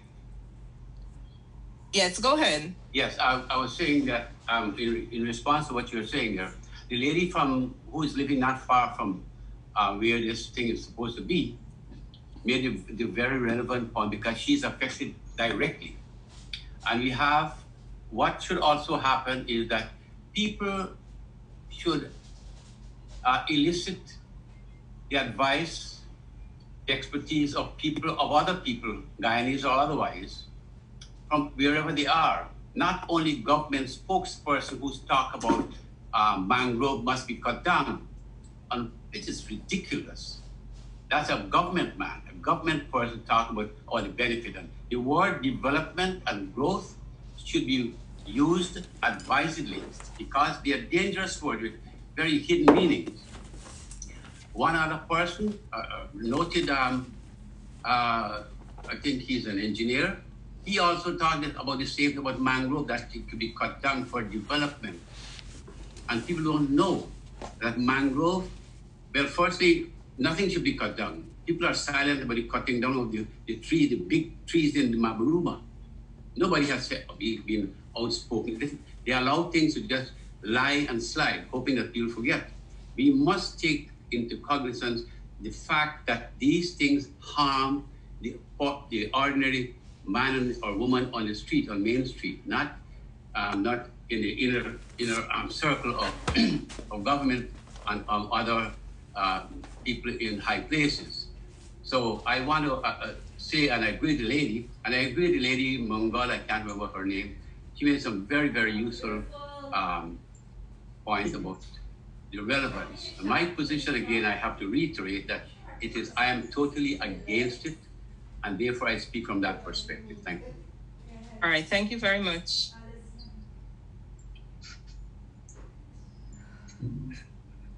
So, um, David Singh and David Modis. I'm not sure if I have it correctly, um, but the Hello, I'm Candace. Doc- My doc- name was called before. Oh, Mike. Sorry. Yes, yes. Go ahead, Mike. Thank you. I, it just won't be very long. I initially put my hand up to ask when the original question asked by um, Simone Mangal was going to be answered. But in the meantime, Simone has uh, in detail uh, uh, dealt with, with that. But I still find that this question is directed at the uh, EPA's uh, understanding of what it's actually doing in, the, in these consultations. These consultations have no legal basis. Zoom is not mentioned in the statute covering EPA. And before consultations take place, there's supposed to be a document. So it's been made clear these consultations uh, don't fall within the normal EPA procedures. This is something different. The impression I had was that the difference was that this was going to be allow a broader range of concerns to be at least put on the table, if not re- responded to. But there has been a constant uh, ruling out of issues as if this were a formal consultation, as if the narrow and rather timid approach of the EPA to this consultation was that it can't stray beyond the statutory bounds of what will come later. And so it's my advice to the EPA. And oddly enough, Mr. D'Amico seems a lot more comfortable and cool with answering questions than the EPA do in receiving them. And my advice for the rest of this consultation is if this is going to be credible, EPA has to acknowledge that it is doing a public service here by allowing or providing the uh, company, in this case, with a platform that could address at least some of the issues that may come up within the um, later EIA or that EPA itself could anticipate will come and which they could prepare for. But the presentation that the conduct on this of this Zoom, and this is not personal to Candace. She's the sort of messenger of the EPA position. It's not her devising. Um, is it's not at all satisfactory, and uh, we would strongly urge that the uh, a much more open a flexible approach be allowed because there's been no public consultation on this, and the EPA should not allow itself to be used as um, a, a, sort of an alternative way of avoiding a public discussion. Thank you. All right. So thank you, Mike. So the mere fact that um, and and you said it um, clearly just now. I, I thought I wasn't understood from the inception where this this this public scoping meeting that we're having it's complementary to that public notice that is published that requires you to make written submissions to the agency. And as you rightly said to garner um, greater concerns um, from the public to help craft the terms and scope that will be used for the conduct of the environmental impact assessment all right, so um, you are correct about that in terms of the EPA want, wants to we we value public involvement and um, we we see this as an opportunity for the developer, of course, to share um, information, pertinent information on the proposed on the proposed project. Um, I'm not sure which aspect you're not satisfied with. I think I responded to the question relative to the regional agreement, um, the ESCAZU, that it's a regional agreement and what um, is enshrined in the national law will will take precedence. Um, of course, we are continuously um, working um, with international best best practices to you know up our engagement. I also mentioned that this is not um, this this this does not mean that detailed consultations will not be conducted during the um, the EIA itself. So this is a preliminary um, scoping meetings, as you said, to gather your, your comments, your concerns, your recommendations. However, when the, the terms and scope are crafted, the the, the stakeholder um, consultation and management plan will have to identify a specific group of stakeholders where in-depth consultations will be conducted. So as you would you would concur that the scope of um, of engagement varies based on the um, the fa- the stage that the project is at, right? So uh, this stage here is the the scoping stage, and this this is the preliminary discussion to hear from you, right? Um, so we thank you very much. I'm not sure which aspect you said wasn't um, wasn't responded to adequately. Um, but I can you can type it in the chat or I can I can I can come back to you if you want to share. But I'll go head over to I'll hand the, the, the microphone, the virtual mic over to Dr. Singh, um, David Singh. And I'm also seeing Vanda hand up. I'm not sure if it's if it's um from the previous or or your hand is up now. So go ahead, um, David Singh. Yes, uh, thank you very much, uh, Candace. Uh, I, I want to, of course, recognize that this uh, this project here is, I believe, the largest ever project in Guyana's history. Uh, it's a $900 million price tag. It eclipses everything else we might have um, uh, might have dreamt of before. And it's not the full project. Um, it's only landing gas on the shore and uh, passing it through um, that the facility that will cause the separation for further use. I have three. Uh, well, the uh, before I asked uh, very three very specific questions of the EPA, I just want to recognize that um, that we I represent WWF. Um, I'm here with my colleague Aiesha Williams, who manages our office in, in Guyana. Uh, they, we will be making a detailed um, uh, contribution submission to the EPA um, regarding this project. The three questions I have for the EPA are one, will the EPA make these hearings available for the public record uh, so that the society will be able to evaluate the extent to which the concerns that the public has raised, the extent to which those have been actually considered in the in the conduct of the ESIA. So will the EPA make these hearings available for the public record? The second question is the EPA satisfied that it knows who the developer is and who the owner is of this project? And is there a distinction between the developer and the owner of this project? And my third question is the EPA satisfied that the alternatives required to be considered in accordance with Section 11.5 of the Act, if these alternatives um, have been identified, or will be identified and this and their treatment will be adequate and sufficient in the conduct of the ESIA. So the three questions, to repeat them, will, the, will these hearings be made available to the public? Who is the owner versus the developer? And thirdly, um, are, is the EPA satisfied with the alternatives that will be considered in this process? Thank you. Good afternoon, Dr. Singh. I'll answer your second question. Is Savitri Itwaru here.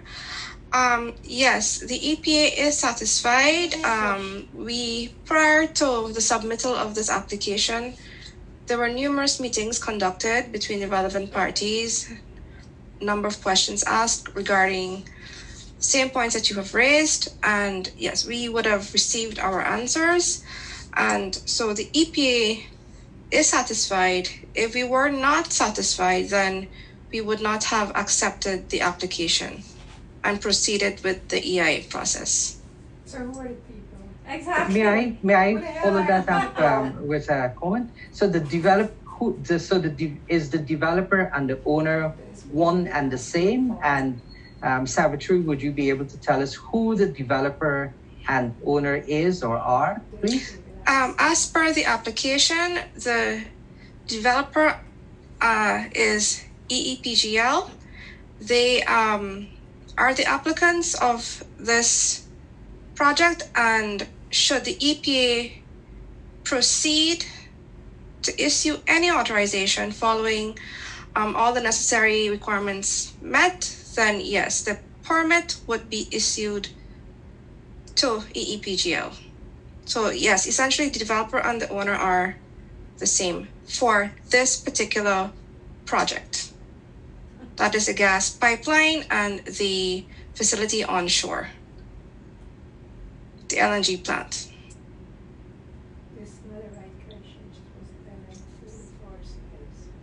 Thank you, um, Dr. Singh. Is it clear? And just to, to respond to the, I think it was the first question you had um, with regards to the, the alternatives. So um, those, of course, will be captured in the EIA study to be conducted. And as you rightly mentioned, based on the, the evaluation of those alternatives, um, the most feasible um, option will be um, recommended or, or will be selected.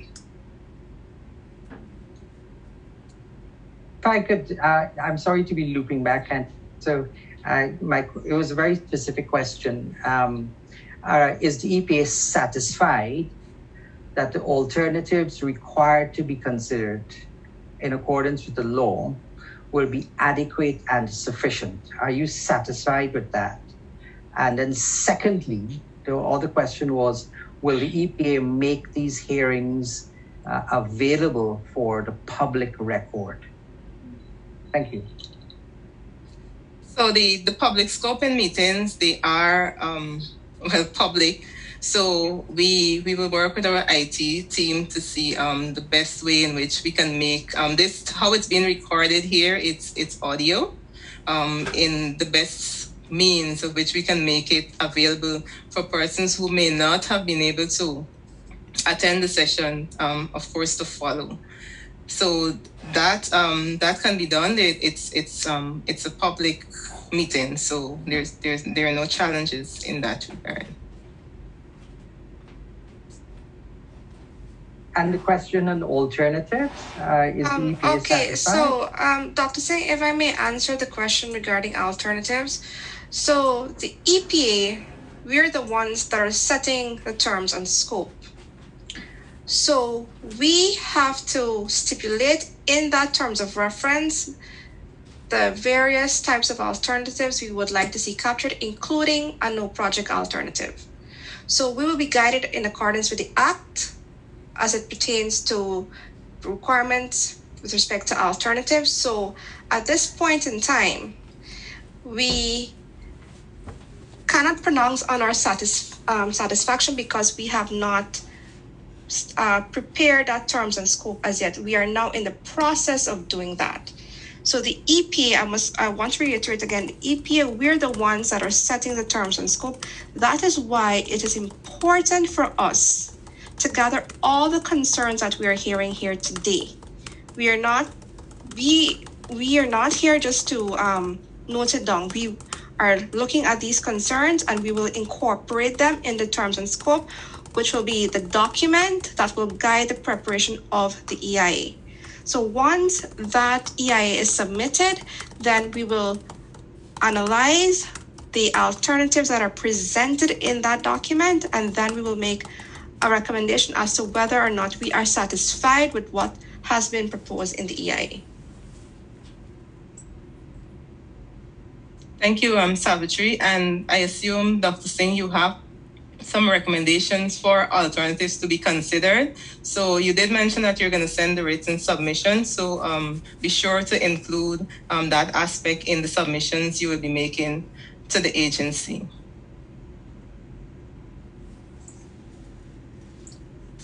I, I don't see any more hands. Can the David Modis, is it that your hand is up again or? Yes, uh, I do Okay. have. So I see David and I see Mike. Um, Prasad, the technicians can help me if I'm missing anyone. Um, are those the only two hands? Um, yes, Yes, those, yeah. those are the only two I'm seeing. All right, so go ahead, um, David, and following you, we'll take Mike Prasad. Okay, and uh, I think uh, this question again uh, is both for EPA and uh, uh, also for uh, the gentleman, uh, Mr. McCormack, um, the, the Michael, sorry. Um, in general, uh, Guyana has, uh, over the past few years, published what they call the Green Sustainable Strategy. And um, this strategy has talked a lot about, you know, reducing emissions and uh, going down a sustainable path, meaning things like renewable energy and other things. Um, so this this uh, gas project does provide Guyana a really great opportunity because uh, the, the, you know the gas uh, as they have uh, calculated uh, will reduce our, our costs by about fifty percent.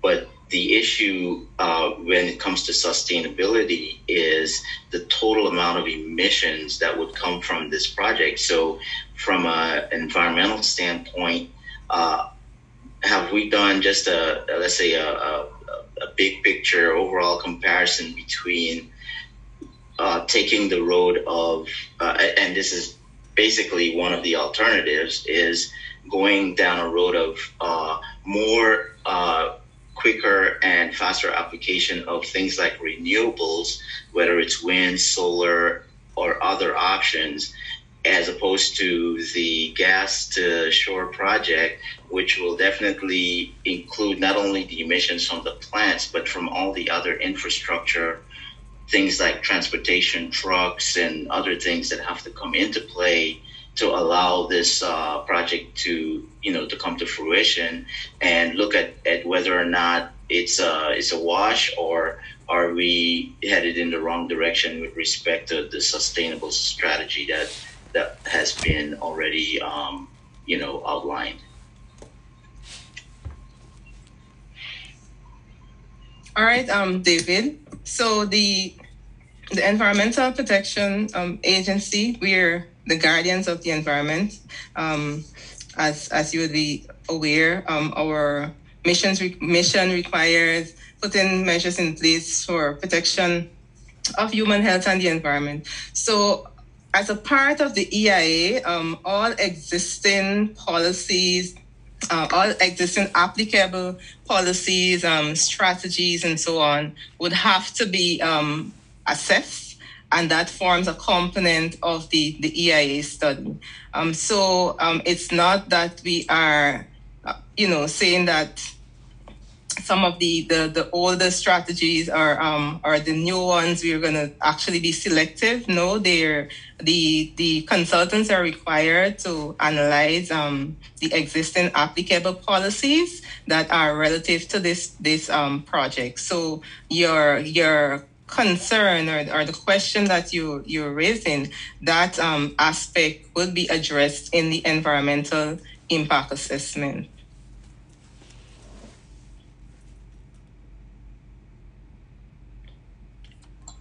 All right, I see Mike and Odamiko, you wanted to respond to one of the previous question or? Yeah, actually, just oh, a general a general comment, if I could. So, Mr. Modesti, um, I hope I pronounced your name correctly. Uh, one of the things that uh, you know is clear when we look at some of this project uh, as the benefits for Guyana, it will reduce Guyana's dependence on imported fuel for power generation. And as you were aware, and you did uh, make some comments as it relates to uh, natural gas power generation, it is a lower carbon intensity than the current options of diesel and heavy fuel oil uh, that's used. So, you know, I know that it's kind of we have the scope, and I know there's been some conversation about where uh, the this process is and how it, how it's supposed to be managed uh, directly as it relates to impacts for socioeconomic, physical, and uh, the environmental impacts that are related to it. Uh, but as indicated in, in, the slides and as appropriate, once those terms of scope is identified, a lot of the items that were captured by yourself and many others here will it could be part of the EIA. Uh, surely, uh, air emissions is something that we're all concerned about. That's obviously why there's the work carried out uh, in Guyana, in the Western Hemisphere, in the world to look at those specific things as it relates to cumulative impacts and individual uh, property and uh, uh, industry impacts. So I, I think that that should be one of those items that uh, should be clarified just to identify that the, the fuel system uh, that's looked at is at a lower carbon intensity, which lends itself to the comments that you did uh, appropriately say just a few minutes ago. So thank you for that. All right, thank you, D'Amico. So we have to um, wrap this session up. We have another scoping meeting um, tomorrow at, at Humaniana. I'll share the, the schedules for the other meetings shortly. But I think um, Simone I'm seeing her hand, and I believe that will be the last um, submission for for this meeting. Go ahead, Simone. Thank you, Candace. And thank you, all of you, the EPA, as well as the the company, Mr. D'Amico's company, for spending the time with us. We appreciate it very much. Um, I just wanted to follow up on, on the last set of questions to make a closing point, which is we really can't look at our environmental impact options. For example, as to alternatives where it comes to carbon emissions, if we don't have a good sense of how much of the gas coming to shore is going to supply a power plant, how much is going to be dry gas, and how much is going to be um, methane, butane, um, etc. So the project description that that's the kind of example where the project description is not enabling us to be able to actually uh, respond on an informed basis. Um, and of course, the other options for uh, energy on land are not just the dirty fuels but renewables and i believe um, there's a solar renewable now that's producing on a, a, third the price of what this pipeline would come up to so these are the kinds of things i mean what we want to do is to come up with the best possible option for everybody this is not a war but it cannot also be a walkover for Guyana. And, and as citizens, we have to consider the, the present and the future because we're bearing lots of costs here. The, the one thing that I think would really help this process is if you, as a professional, Mr. D'Amico, could uh, speak to those who have um, hired your services to establish what are some basic parameters and best standards because it's it's not meeting that right now and i wish you well but we will be you know we will be following up to see how this goes forward and the point is you cannot define the purpose of this project as to build a pipeline the EPA is immediately limiting any possible discussion of alternatives by doing that. And none of us want to decide where you put your pipeline we want to decide what's the best way to get gas to shore and if all the gas even needs to come to shore. Maybe sometimes just putting it back in is better, getting it on ships to other countries is better. Who knows? But if you can't have that discussion with us, then you're treating us like idiots in a charade. And we're not playing that game. That game is over. So thank you again for your time, and we really look forward to engaging you constructively and coming up with a great plan. Candace, Candace, this is Mike, Mike Prasad. Hi, uh, Mike. Like, hello and uh, good Sorry, afternoon. did I miss you? uh-huh. Yeah. Okay, go ahead. Uh, listen, I have a couple. I have a couple questions, informational type. Who is the head of the EPA now, now today? Do you know who is the head of the EPA? The executive director is Mr. Kemraj Parsram. Um, does the EPA have veto power over this gas line project? Um, I'll add, I'll invite our legal rep to respond to you um, in that regard. Uh, do you have another question though? Yes. Um, uh-huh. Janette Bulkan just posted a comment there. I, I hope everyone saw that comment. Um, EEPGL EEPGL is a shell company, has no assets. Why is the government of Guyana dealing with EEPGL? Why would they want to sign a $900 million project with EEPGL? And, and does the parliament have anything to do with this? Should approval of this project, $900 million, come from the parliament? Thank you.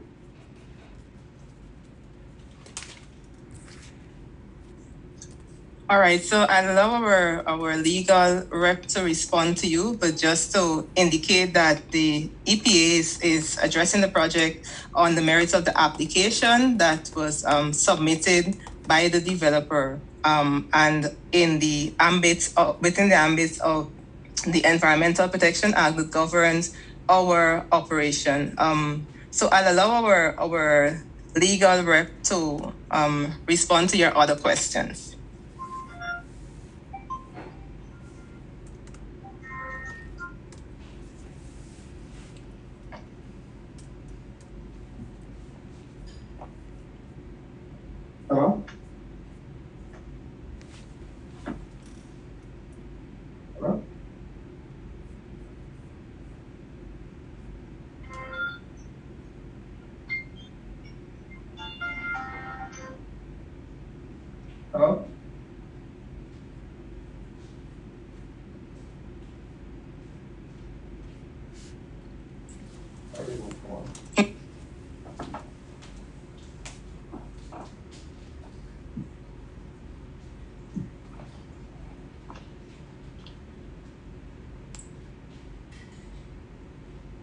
Yes, go ahead, um, Said.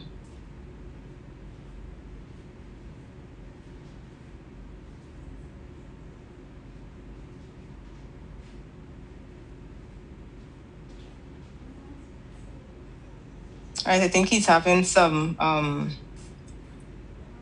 some technical difficulties, um, but the the agency, as I mentioned, is um, operating within the the ambit of the Environmental Protection Act. And once an application is submitted to us and it's taken through the, the screening process, um, and of course, the decision goes two ways EIA required or EIA not required. Once the application would have met um, satisfactorily met the requirements, um, the agency would proceed to, to publish um, that notice and hence this application, as Salvatore mentioned earlier, um, I, I don't know if you were in with in her initial um, clarification that the after the screening process, the, the, the project was published. Um, this is an EIA required project it has satisfactorily met the requirements of the Environmental Protection Agency. And what the Environmental Protection Agency would be focusing on is an environmental authorization and permit pending the environmental impact assessment being done um, satisfactorily. Um, also, Candace, just to add to what, what you're saying, um, I know you would have mentioned that we would be publishing the EIA for review, and I just want to um, inform all of those who are on the call that the public will have 60 days from the time the document is submitted to review and to make its written submissions to the EPA. This again is another avenue for participation, which is in accordance with our act.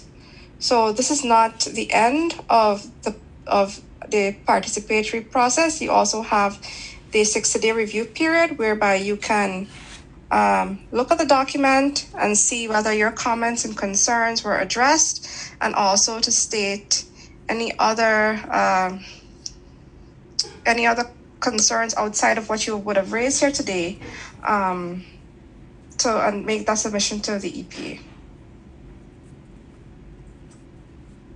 Yes, so um, the EPA is the the lead regulatory body for environmental management in Guyana, and it's the only um, the only agency, I should say, that um, is prescribed by the Environmental Protection Act to pronounce um, to issue sorry environmental authorization or environmental permit.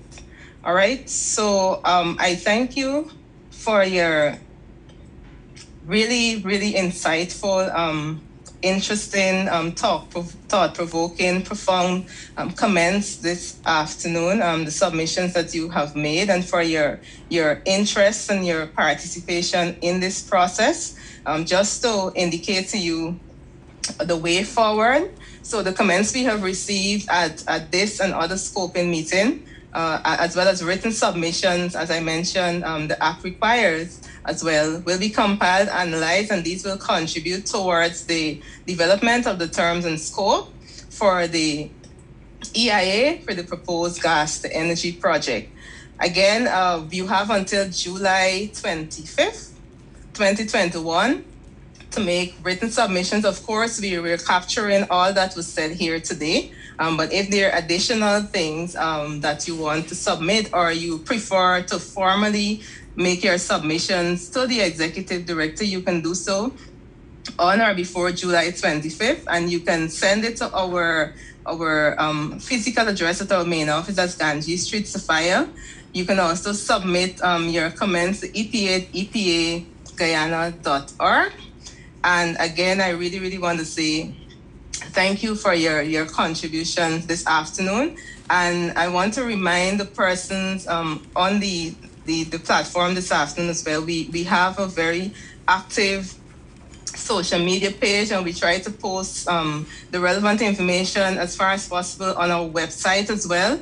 So um, do um, follow us and you'll be updated on what is happening with regards to not only this, um, but other developmental project um, activities and um, of the agency.